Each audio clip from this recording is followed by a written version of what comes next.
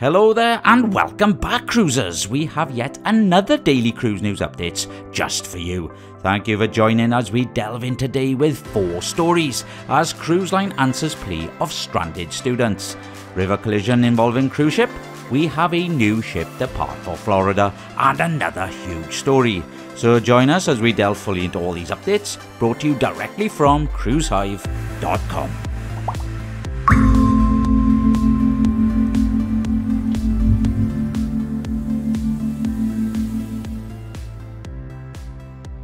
Lerwick Harbour in Shetland, Scotland welcomed the largest cruise ship in its history on May the 20th as the Maltese flagged MSC Virtuosa made its maiden visit, breaking a nearly six year record.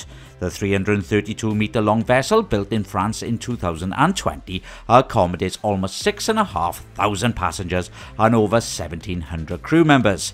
Weighing over 181,500 gross tonnes, MSC Virtuosa arrived from Southampton on a seven day Norwegian fjords voyage.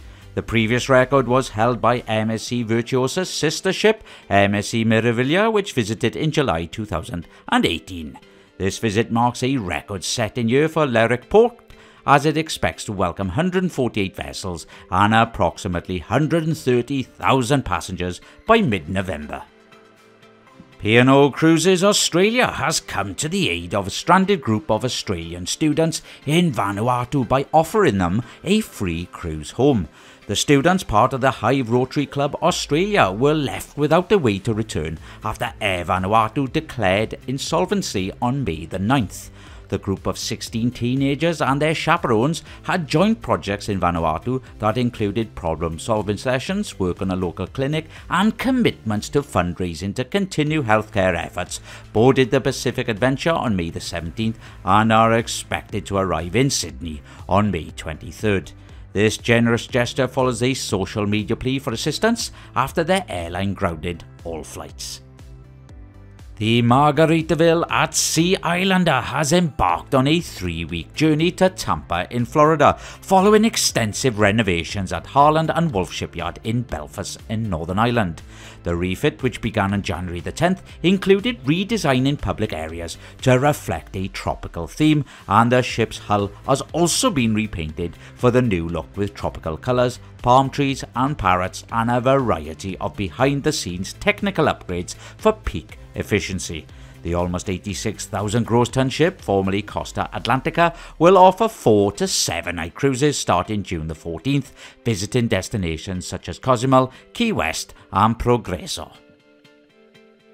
A collision between a river cruise boat and a smaller motorboat on the River Danube in Hungary over the weekend resulted in two deaths, with five others missing.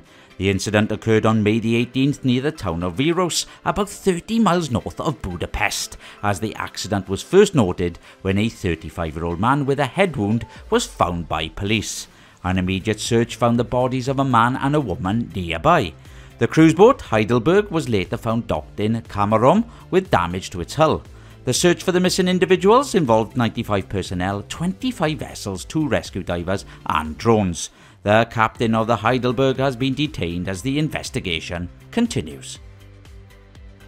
And that's it for me today, cruisers. My name is Paul, and all the news you require is over on cruisehive.com. Now, if anyone has any news, you can email us at newstips at cruisehive.com. Please show your support by liking our video and please subscribing to our channel. I hope you have a good day, cruisers, and I'll see you in the next video.